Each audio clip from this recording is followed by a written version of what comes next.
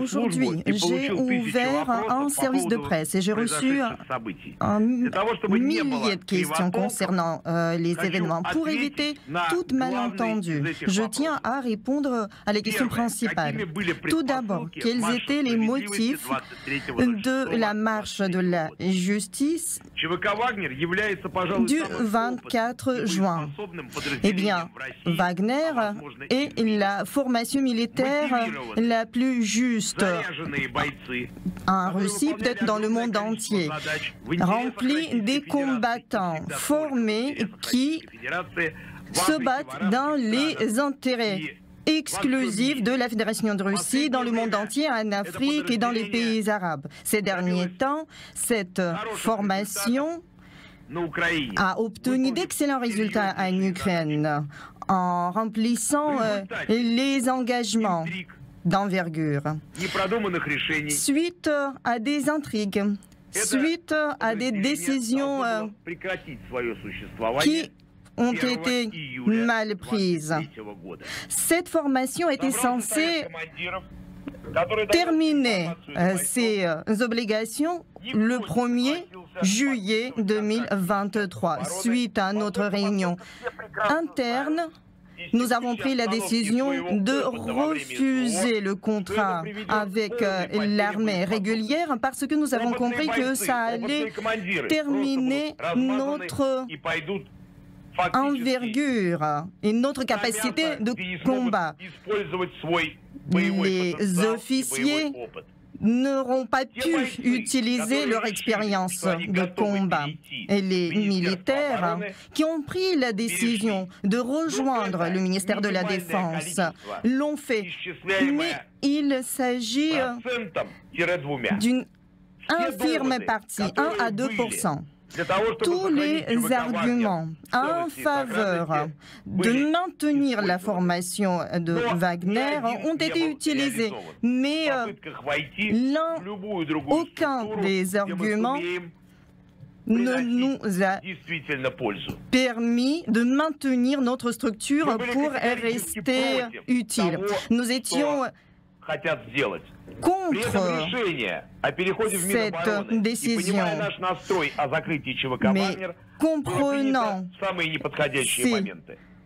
euh, les faits, nous avons compris qu'il s'agissait de quelque chose qui tombait mal à point. Donc nous, nous avons fait le nécessaire, nous avons fait notre inventaire et nous avons pris la décision de transmettre notre matériel militaire publiquement devant le QG militaire de Rostov.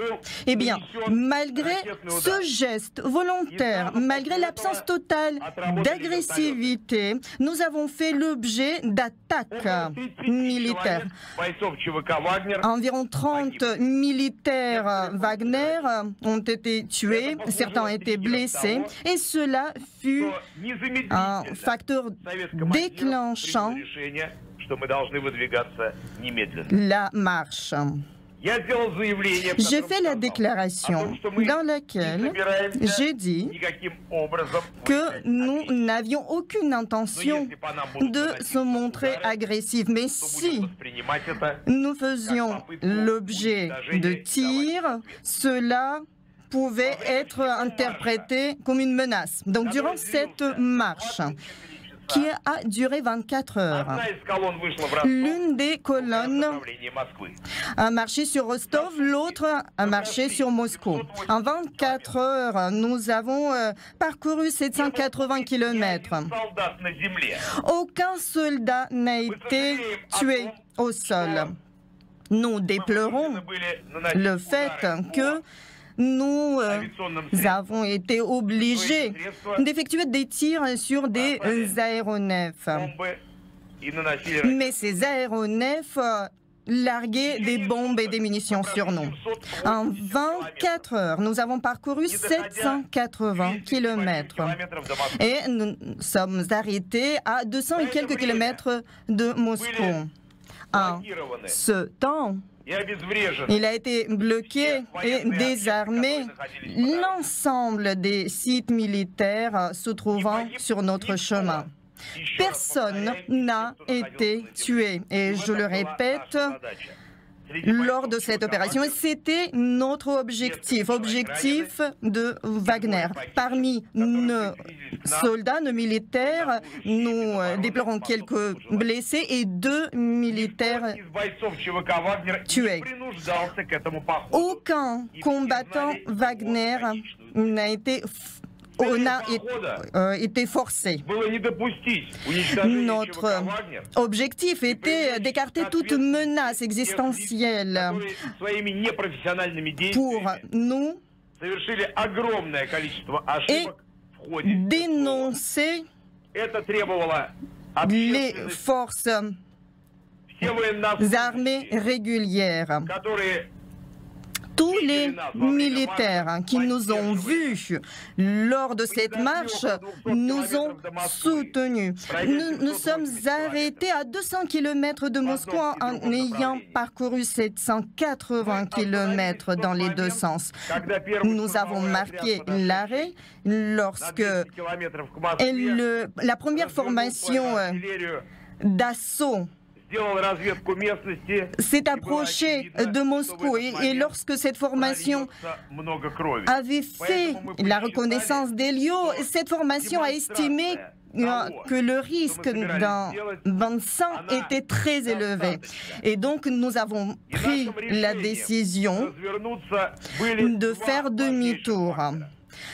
Et les deux facteurs ont joué un grand rôle. L'un des facteurs était le fait d'éviter un bain de sang russe.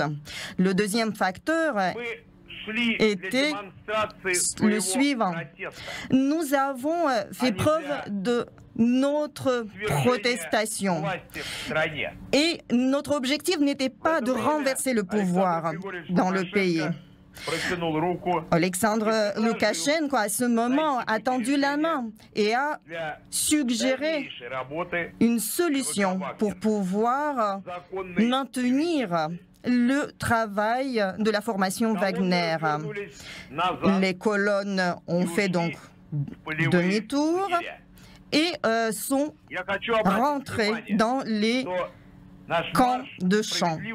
Je tiens à mentionner le fait que notre marche de justice a démontré le, problème de sécurité dans notre pays. Parce que nous avons pu euh, bloquer tous les sites militaires sur notre chemin, les aéroports, et en 24 heures parcourues, nous avons donc parcouru la distance qui est euh, équivalent euh, du point de départ euh, des forces russes le 24 février 2022 et jusqu'à Kiev. Donc, si le 24 février 2022, si une formation pouvait être engagée dans les combats, formation équivalente à la formation euh, paramilitaire Wagner, euh, on aurait pu espérer faire aboutir cette opération spéciale militaire en 24 heures. Bien sûr, il peut y avoir quelques nuances, mais nous avons démontré le niveau important d'organisation qui devrait être dans les forces armées russes. Et lorsque le 23 juin 2023, nous passions à côté des localités russes et des villes russes, nous, euh, avons, nous avons constaté le fait que la population euh, était en liesse ils étaient tous ravis de nous voir passer.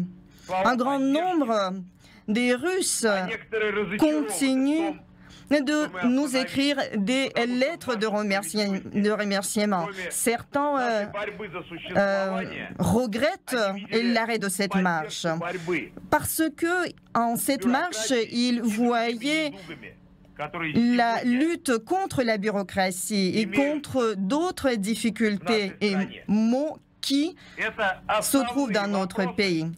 Et donc, ce sont les questions principales auxquelles je peux répondre aujourd'hui.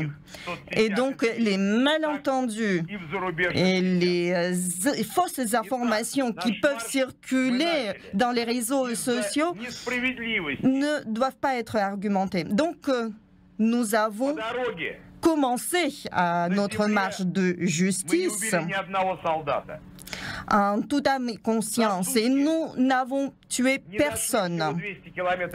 En 24 heures, nous avons parcouru un grand nombre de kilomètres en prenant euh, Rostov.